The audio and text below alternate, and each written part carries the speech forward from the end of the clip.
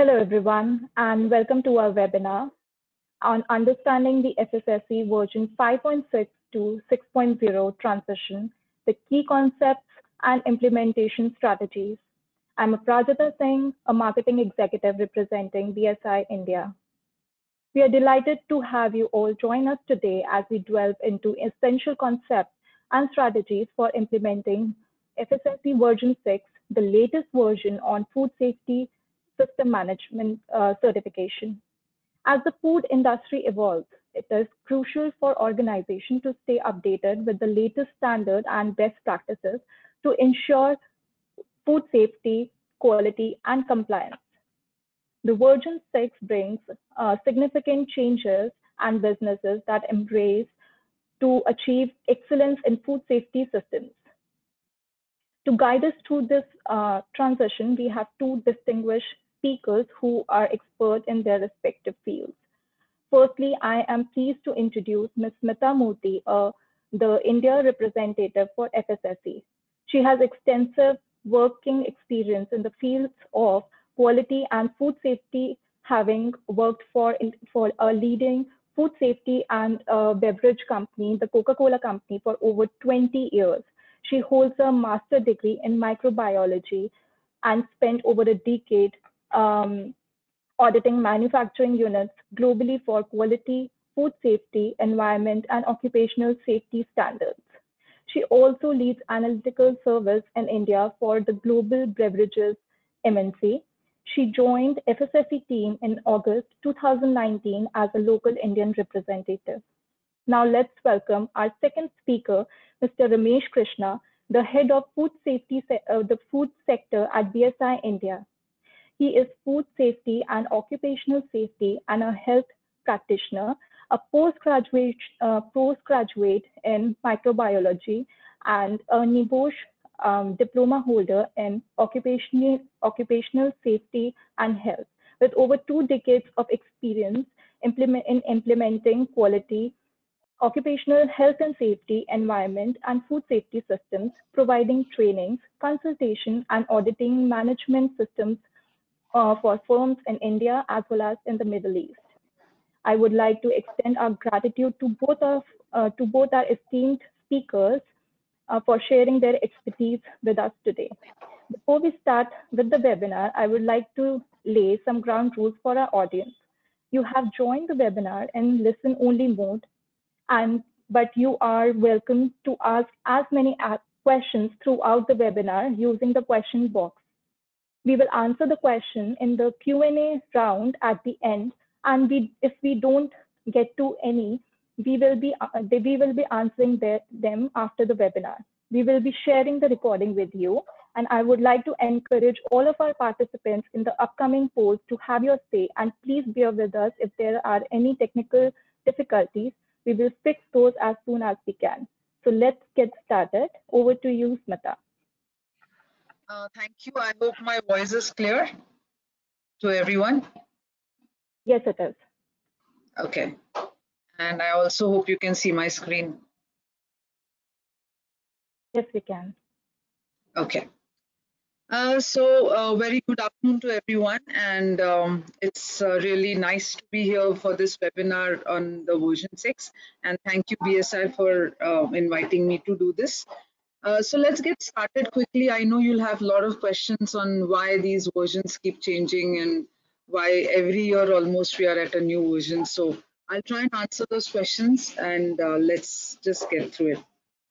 Uh, so just a brief, a couple of brief things we'll talk about today. I think all of you know what FSSC is. So uh, I'll just do a very brief introduction to our organization, to version 6. We'll talk in depth about why things have changed what are the benefits of these changes uh, and how do you upgrade to version 6 from uh, the certificate that you have right now. Uh, so Aparajita, can we run the first poll question, please? Sure, Smita. So uh, I would request our attendees to look for the poll question number one, which How familiar are you with the changes introduced in FSSC version 6? Please opt one of the following uh, answers. Very familiar, somewhat familiar, or not familiar at all?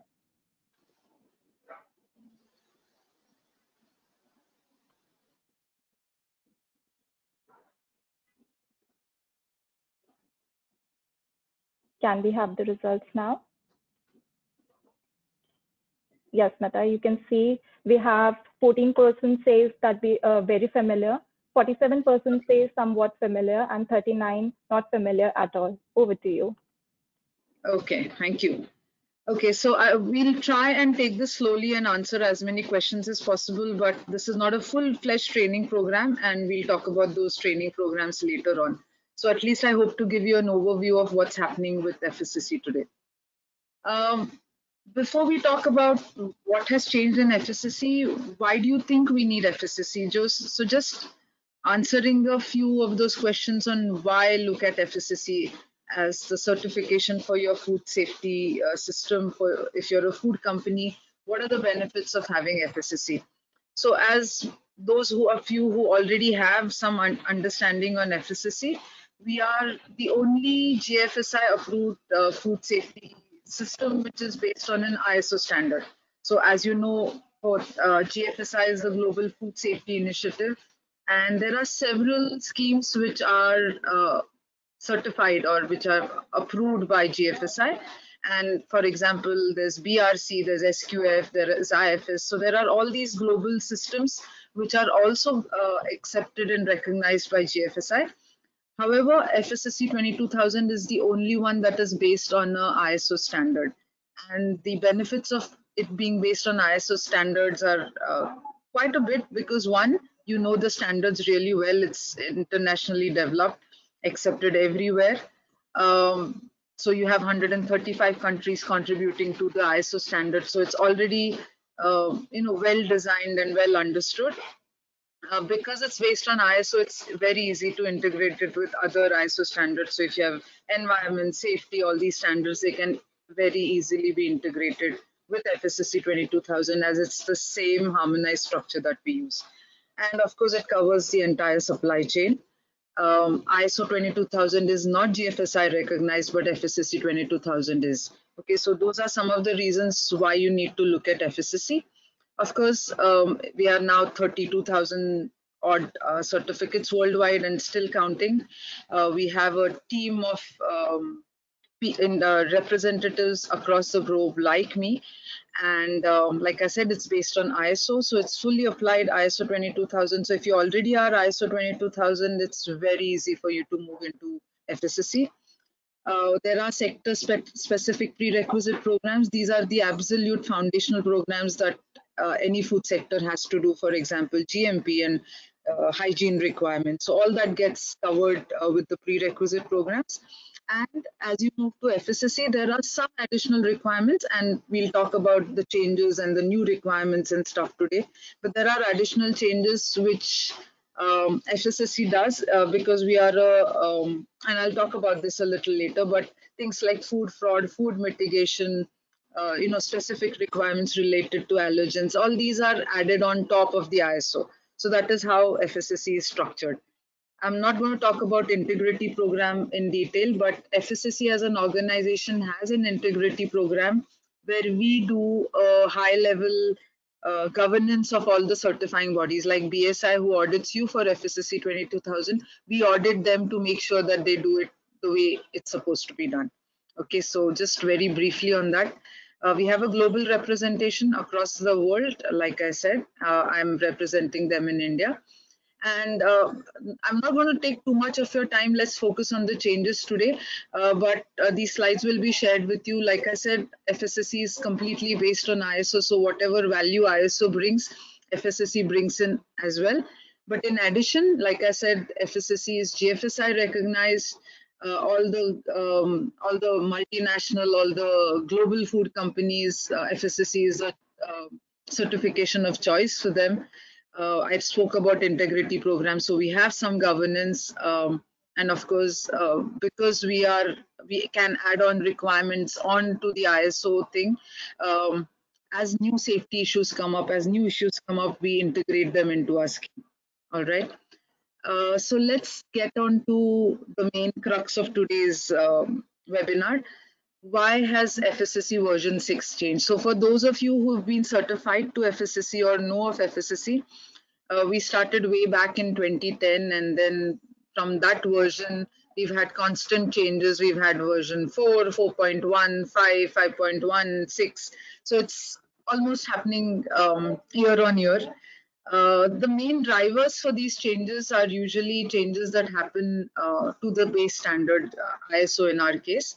So there have been changes in 2022 to the uh, 22003 requirements, which are requirements for accreditation for a certifying body. We needed to incorporate those into our standard as well. And as a responsible scheme owner, as a responsible standard, we believe that uh, we have to help organizations that choose FSSC to also meet the UN SDGs or the Sustainable Development Goals. Um, some of you might know by 2030, there are a list of sustainable goals that uh, the world has promised that they will try and achieve. So as a organization, as a foundation, we want to also contribute to the SDGs and help companies who choose FSSC to meet these. And of course, as usual, there are changes, there are amendments, there are editorial changes that you realize once you put out a scheme, uh, which needs to be updated and it's part of continuous improvement. So basically, these are the top level things that why we needed to change the version. And uh, talking about why, now I told you why, what does these changes do? So because we have started looking at SDGs and uh, we've incorporated a requirement around food loss and waste, uh, this is a new approach, uh, and we believe that it will help companies to meet their sustainable development goals. And I'm sure all of you agree that food loss and waste is something that as companies, as individuals, as people, we need to make sure that it doesn't happen.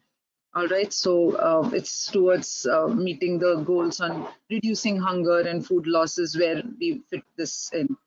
Okay, um, again, uh, our understanding of uh, the food safety also brought us to a realization that you cannot totally remove quality control parameters from food safety. So the new version incorporates some of the key quality control parameters uh, that would also make food safe. Uh, so it's not everything, but there are some quality control parameters which contribute to food safety. And I'll give you examples as we go along. So that has been incorporated uh, into the new thing. Uh, we've had issues where fake certificates were being issued for FSSC so one of the change which will come with version 6 is a um, QR code which each certificate will get, which you can scan and figure out the authenticity of your certificate.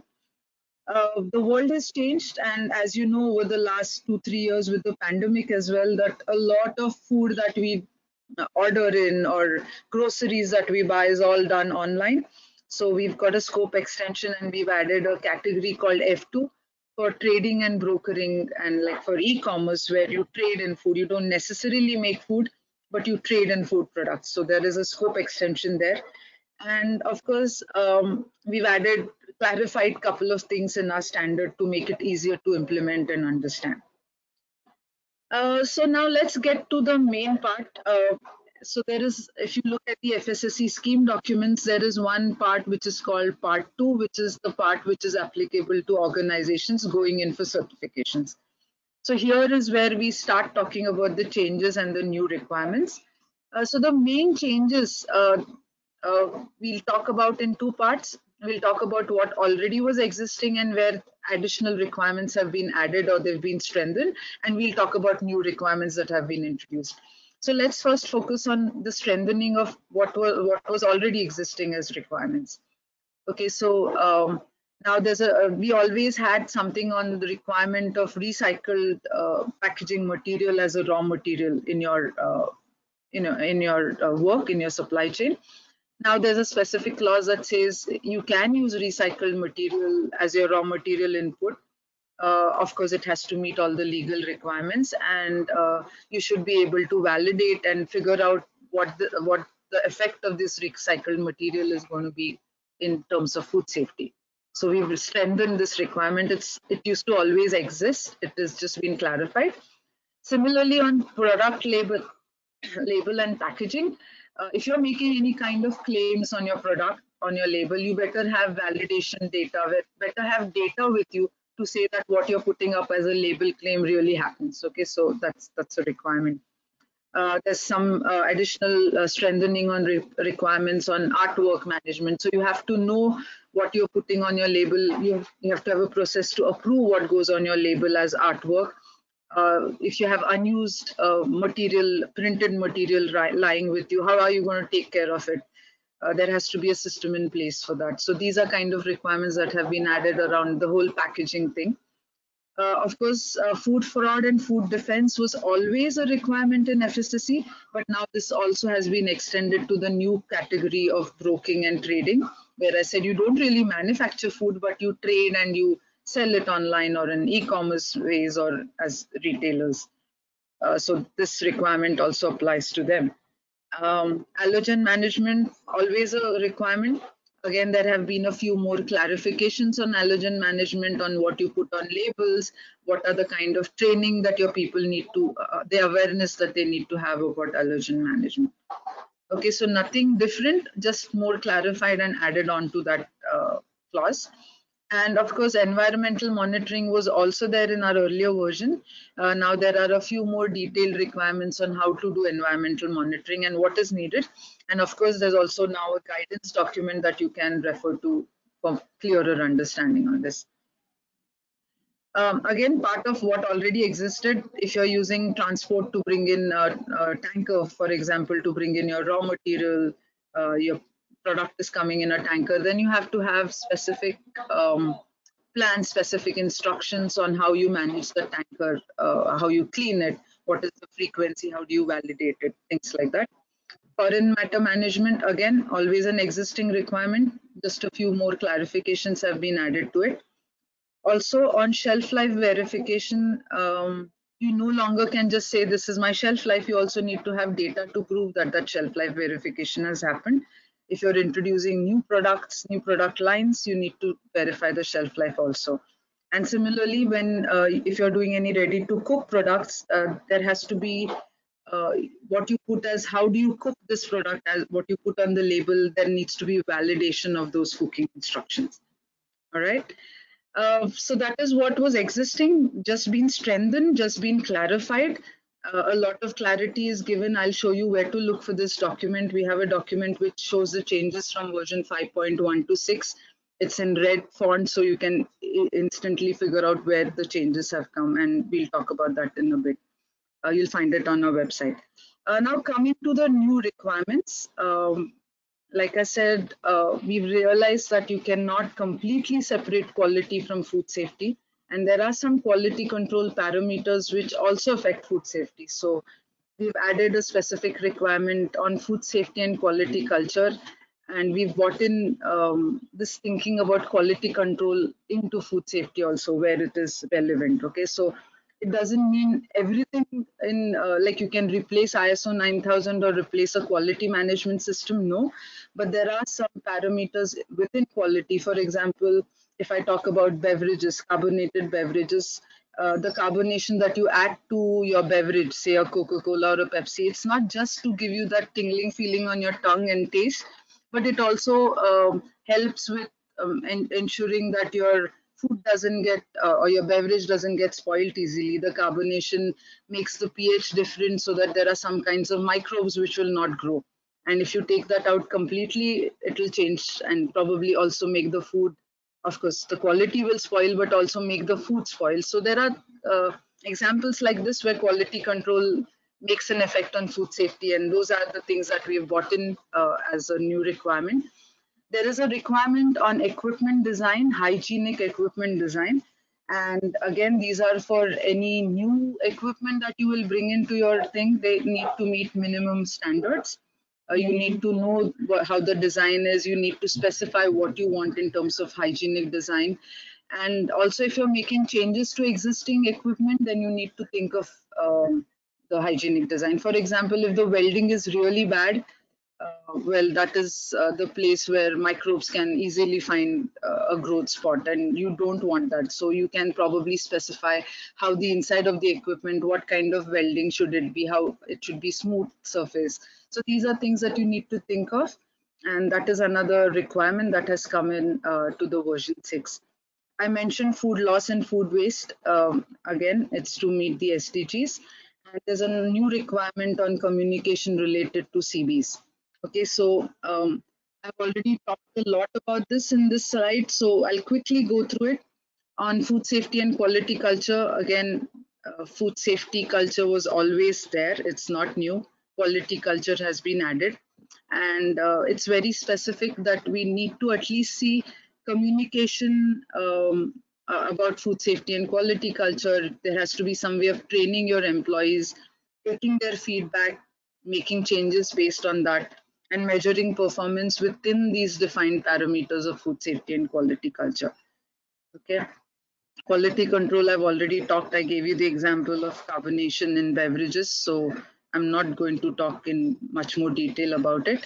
But uh, you need to also remember that uh, for all of you working in a food company, you know startup and shutdown and changeover procedures are where a lot of mistakes can happen okay? So you have to establish and Im implement line startup and changeover procedures. So now this has also come in as a specific requirement uh, under our clause on quality control it's pretty easy to understand and i think you can also appreciate why these uh, have come up as uh, requirements equipment management, I already spoke about this.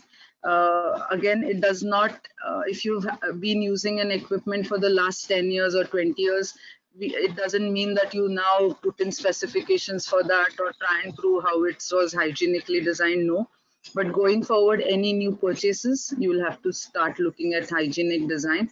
And uh, if you're making changes to existing equipment, you'll also have to think about this. All right. Uh, food loss and food waste, we talked about this uh, in terms of the SDGs. Uh, just a little differentiation. Uh, food loss is something that occurs uh, before it reaches the consumer. There could be supply chain issues, you know, something got rotten, vegetables coming in, it, you know, didn't reach in time and something wasted. Those are food loss. And food waste is something that is, you know, actually good to eat, but then you consciously discard it. It's wasted. Like you know you take a plate full of food and then you waste it because you can't eat it. So that's the difference between food law and food, loss and food waste. A whole guidance document is going to be released soon on food loss and food waste. And uh, what we expect with this is at least there should be a thinking and a strategy maybe a few objectives that you can put uh, to reduce uh, food loss uh, within your supply chains and food waste okay? And um, there are times when if you have excess food that you've produced you think of giving it away to someone you know uh, charity and stuff but uh, in in this clause in this standard when we've put it wherever whether it goes uh, goes on as charity it goes off as animal feed maybe all of it has to meet food safety requirements and there's no compromise on the food safety aspect of it okay so that's something that you need to remember. There'll be a lot of discussion around this. Guidance documents are on its way. So please uh, take a little time to go and familiarize yourself with this. Um, I said there's a new requirement on communicating uh, any major uh, situations that happen or any crisis events that happen within three working days to the certifying body. So if BSI has uh, certified you for FSSC and some major thing, earthquake, or you know, you, you have some major uh, crime or flood, for example, happening, you need to notify the CB within three working days of any serious event. Okay, so um, if these can affect uh, food safety, then this needs to go to your CB. And of course, uh, there is a further requirement that the certifying body needs to inform FSSC of this uh, kind of serious events that happen. Uh, so these are like I've told you what was already existing and what are the new requirements.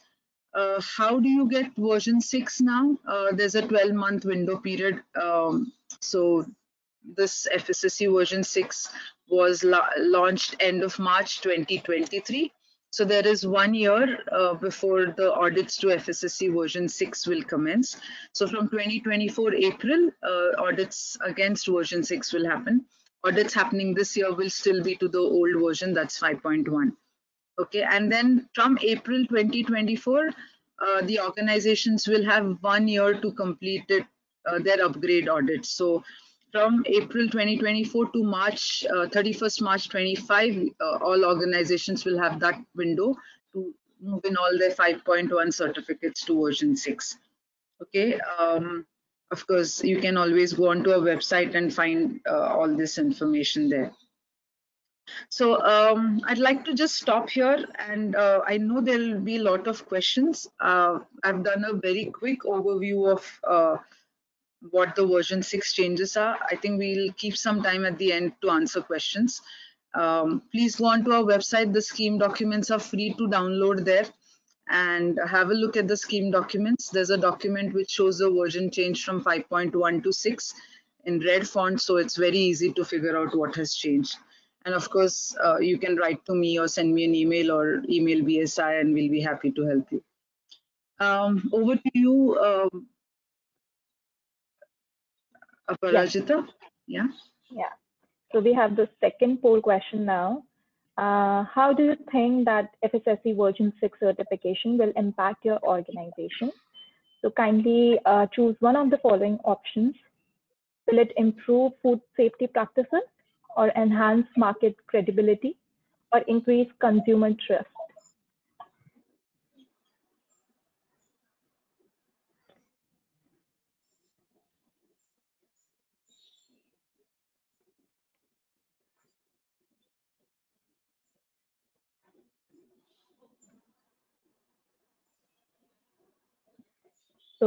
Uh, can we have the results now? Okay. So 75% people says improves food safety practices, 24 says enhance uh, market credibility, and 49 says increase consumer trust. Yeah. Over to you, Smita. Okay. I guess uh, I am at the end and I think I should, uh, I'm sorry, I think my screen. Are you seeing my screen by any chance? Yeah, we can see your I'm sorry, Aparajita. I think, um, yeah. All right, so uh, I think we are at the end of my session and I'll hand it over to uh, Ramesh. Uh, these are my uh, email IDs. If you want, you can uh, please make a note of them I'm here to help you. Thank you, Smita, Yeah, for that very thank you, Smita, for Yeah. that uh, very crisp and detailed presentation. Yes, that was very uh, clear, uh, communicated. Well, let me try and uh, share my screen. I believe uh, you're able to see my screen. Aparajita, could you confirm? Yes, we can. Well, uh, let me take my turn here.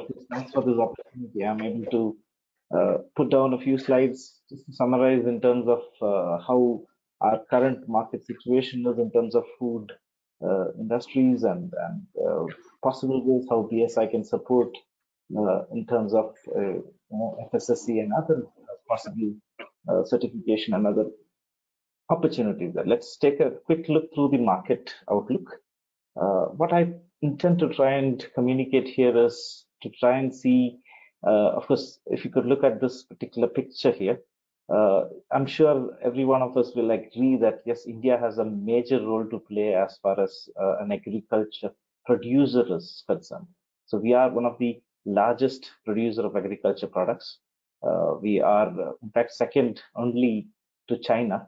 Uh, we produce close to about 419 billion US dollars worth uh, every year. Of course, this is statistics from the year 2020, and obviously over 21, 22, and now this year. Of course, things could be only improving. However, we are um, uh, we we cater to the needs of the country as well, and we also have the responsibility, of course, to support the needs globally. We are a large producer. I'm sure uh, you also agree that the way how uh, we, our food habits, the way how we handle foods, of course, has changed over the period. Taking you to this particular picture here, yes, I'm sure you will all say yes. We have we have changed our way of uh, what we understand as food, or, or, or uh, we are we are looking forward for a lot of convenience these days. Obviously, 57% of Indian urban uh, population is ready to pay for that convenience. We are ready to pay for processed food. We are ready to pay for uh, frozen uh, food, which is available. Canned foods are popular thing these days. Uh, globally also, of course, the trend is the same. About 30% global consumers ordering uh, more uh, kind of, you know, ready to eat kind of, ready to cook kind of foods as well. Uh, of course, we all have that convenience these days, and we all look forward to have more of packaged, frozen, and canned products, which are we, we expect this. And the industry is poised, of course, it's set to a growth of like say three to four percent annually, and it's ever improving. At least uh, even in those difficult times, we see that the industry has been continually improving on uh, processed foods, let me say. I would like to also take you through another kind of an understanding here on what are the challenges that we are facing in the industry as a food industry. What what do you think is the problem? Do we have any? And of course, I'm trying to uh, highlight that we have this difficulty on brand strength. I'll take you straight away to this particular uh, uh, graph here. you can see that uh, when I have this, uh, this is one of the summarization from the Federation of Indian Chamber of Commerce and Industry. Of course, they did a recent study and they understand that yes, India is uh, in terms of brand strength rated somewhere far down the line. Of course, you could see that it is much behind countries like China, South Africa, uh, uh, Turkey, and many others. Of course, we are about 46th in terms of consumer preference, brand strength, in terms of quality. So that that's where we stand. Of course, Indian products for it to be made available globally, for it to be marketed, for it to be sold, for it to be recognized across globally. Of course, we need uh, you know some kind of a, recognition and FSSC. Obviously, FSSC the the updated version of FSSC version six only adds to this and when it comes through a certifying agency or a certifying body like BSI, which has global recognition, of course, that adds to the credibility of an organization, of course, to, to uh, present yourself as an organization which is food safety conscious and kind. So uh, when it, uh, if I had to summarize, uh, the challenge is very much limited to the brand strength. I mean, because of the limited brand strength, uh, the quality concerns, we also have ethical concerns sustainability issues and kind, uh, adulteration, all those of course are. So when all these things are verified by an external organization, uh, again referring to an internationally accepted GFSI recognized FSSC kind of a scheme, it gives yes value to the product, value to the to your organization, and and uh, that that gives that extra mileage. Uh, when when I have to speak about BSI, of course, uh, BSI basically is a standards company. I'm sure you all know, of, at least many of us have been associated with BSI. So we are into standards of, of about 120 years of existence. Uh, we make standards. Of course, we are one of the founder members of the International Organization for Standardization. I'm sure uh, you know what is the uh, ISO, yes, the International Organization for Standardization. The, the very standard we are speaking about here is on ISO 22000 and additional requirements. So BSI forms a part of the founder, founder member. Uh, it represents the United Kingdom, of course, uh, and and it's a non, uh, you know, not for distributed profit kind of an organization. What I mean to say exactly is that yes, the profit which is earned by the organization has actually invested invested into the uh, industry uh, in terms of subject matter experts and kind of goes to develop more standards and and we we really work on quality different kinds of standards of course starting from iso 9001 to thousands of different standards of course and for the kind of industry we are we also have this recognition uh, by, by the queen of england of course the royal charter recognition. Uh, anyway of course i'm uh, of course what i'm trying to say here is that we are a standards company. Since we are into standards we make standards we have the responsibility of sharing these standards with uh, the different organizations we associate with. We we equip organizations of course, we train we we uh, we provide consulting services of course to try and help organizations to implement these standards these management systems and in the course of action of course we also certify organizations. Of course, that's that's what we are for. Since we are into standardization, we make standards and we also go ahead and then get to the extent of even possibly certifying organizations. So we actually form a catalyst uh, to, to bring about a positive change within organizations. That's that's the purpose of what we are for. Uh, we help our clients, of course, solve problems uh, in terms of giving advice, consulting services. Of course, we we have uh, we we provide anticipated regulatory requirements. Our views on that. We try to help organizations understand legal uh, expectations, probably across the globe where our products are being shipped to probably yes, we need to even follow the requirements, legal requirements across the globe at the, customer end. So we try helping organizations with many of these in terms of a genuine data-driven uh, uh, mechanism and uh, you know, times in terms of providing operational excellence within the organization. Uh, of course, BSI is uh, looks forward to have uh, you know um, the organizations we support to have a resilient system in place. Of course, as the financial environment uh, uh, and, and social climate in the planet continuously keeps shifting, especially at this kind of a situation after COVID and kind, uh, we see that BSI's founding purpose uh, to benefit the society is more and more relevant. It's getting more and more relevant, and we believe in this consciously. We work towards enhancing the organization's, our customers' performance in terms of very much food safety as well. So to summarize on that, uh, we provide knowledge-based solutions. As I told you, consulting, trainings, and all those, of course, uh, we provide information, legal, other information, yes, solutions for different organizations. As part of our assurance services, we provide system certifications. Uh, that's, of course, FSSC uh, with relevance to the, today's discussion. We also provide other kinds of certifications like BRCs. We have the uh, ISO 22000 certification, BSI's HACCP and GMP programs. We have RSPO and all those different other certification opportunities with us.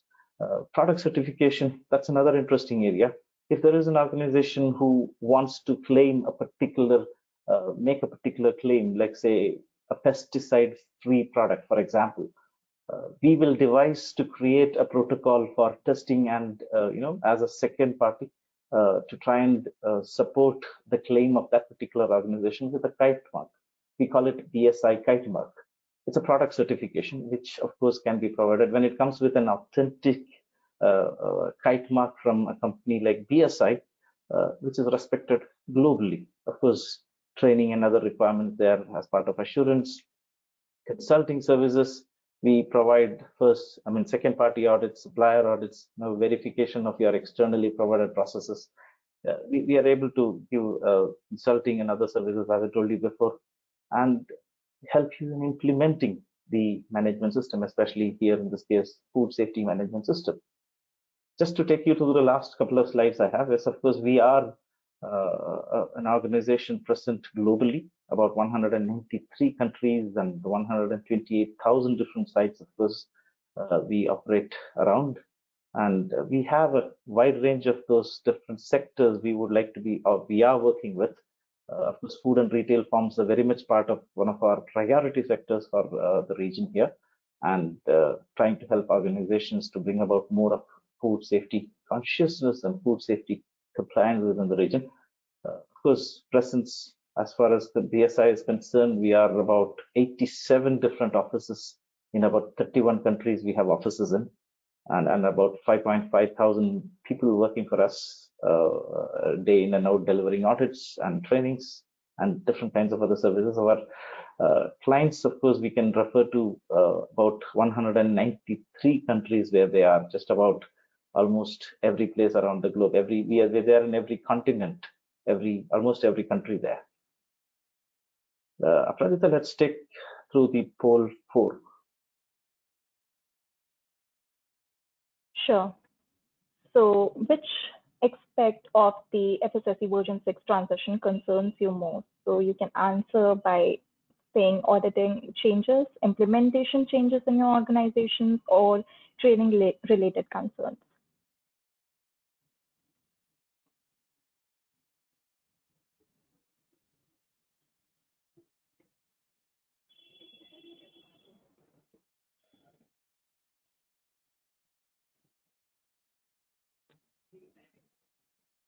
Can we have the results now?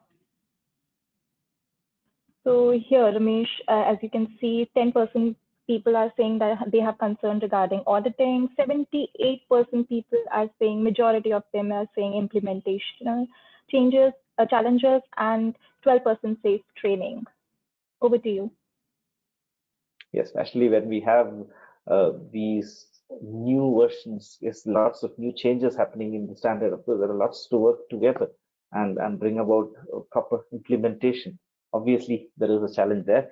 Take, taking it further, as we work around uh, with BSI, yes, as organizations, uh, let's let's try and find out how we can do uh, provide our services in kind. Yes, version six of FSSC uh, you all know that it's been available since the early 2023. We've got a one year window for uh, uh, organizations to understand the expectations, implement these changes, and go in for certification. 1st of April 2024 onwards, yes, we can start delivering FSSC version 5 audits. And I'm sure uh, Smita was also explaining that, yes, all the transition, all the companies, all the certificates who are currently certified to version 5.1 needs to be transitioned before the 31st of March 2025. So we have a one year window again there. So we should be prepared. We should be doing enough to make sure we understand the expectations. Obviously, our trainings are going to help you support this. Uh, we have provisions for carrying out readiness reviews uh, even before the uh, 1st of April 2024. So we can do readiness reviews to try and help you understand where we stand and what uh, kind of uh, you know changes uh, we have, uh, whether it has been suitably implemented or kind. Yes, we can do that.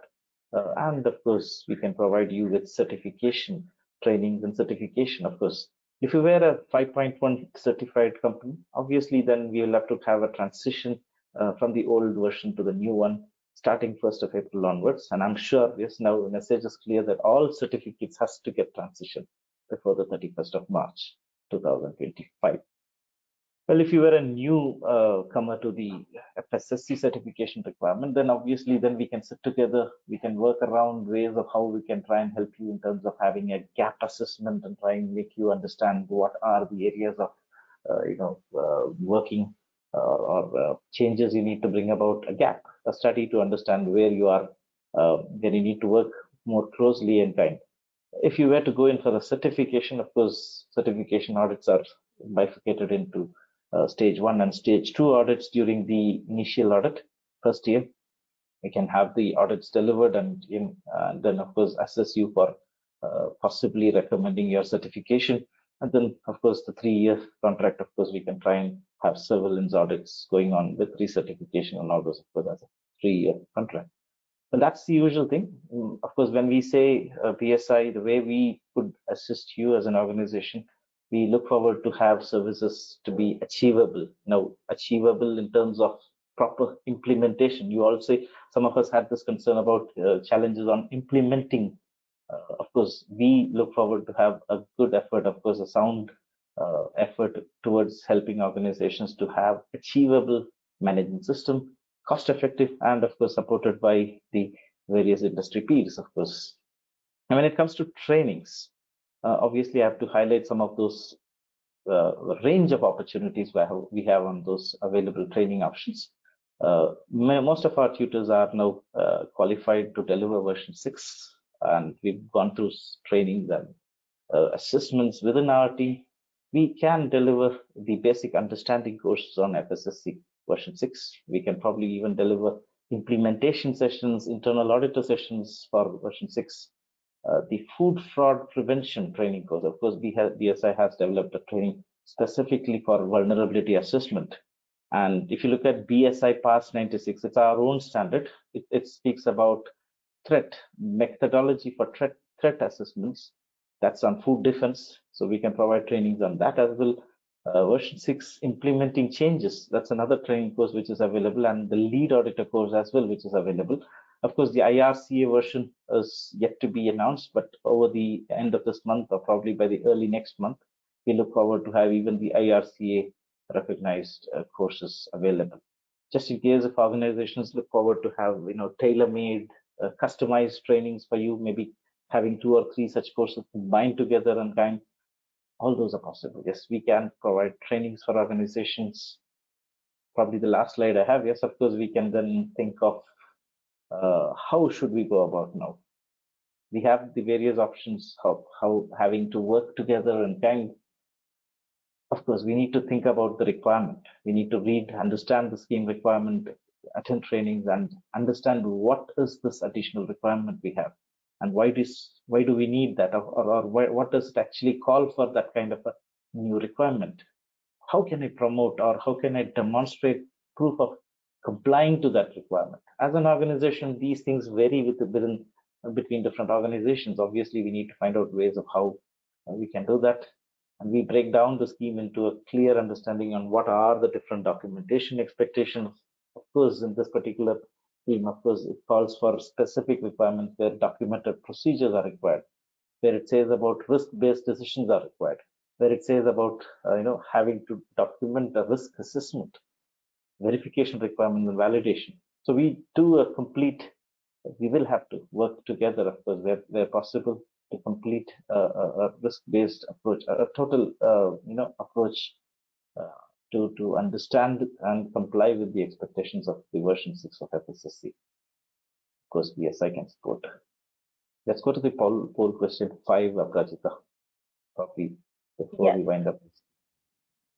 Okay, uh, so are you currently certified at with any other food safety standard? Please vote by saying either yes or no.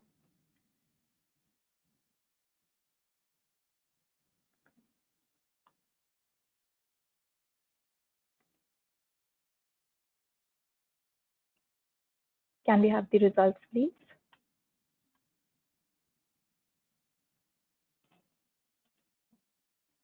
Okay, so Ramesh here, people say that 75% of them have and 25% they, do, they, they doesn't have.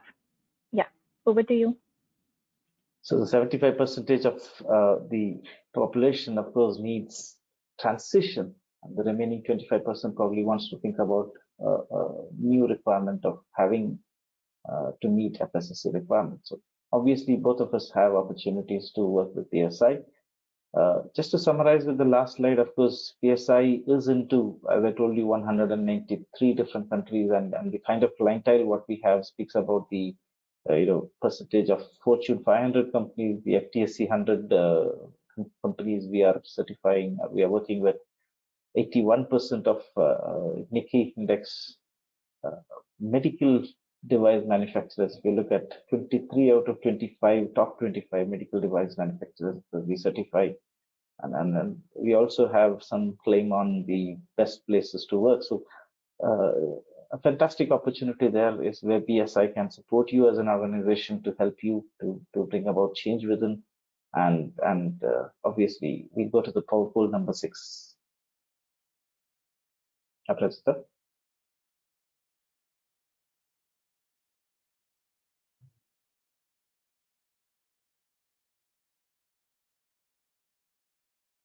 So the last poll question is for you is, uh, would you like to be contacted by BSI for any of the services as we provide FSSC trainings or any other food safety trainings or any food safety certifications?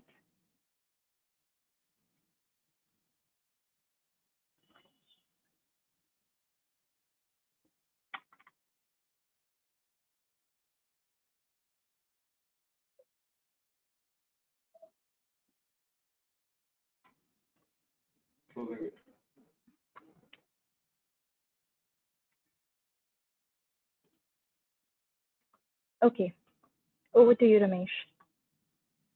Great. Uh, well, if any of you want to know further about any of our services in terms of FSSC in specific or, or uh, in terms of the trainings we offer uh, under the FSSC banner or the brochures, the different course brochures or any other standards for that matter, got those four different uh, QR codes and uh, yeah, I will be leaving this screen uh, for any of you who want to take a scan of uh, the QR code and try and browse our web pages as well.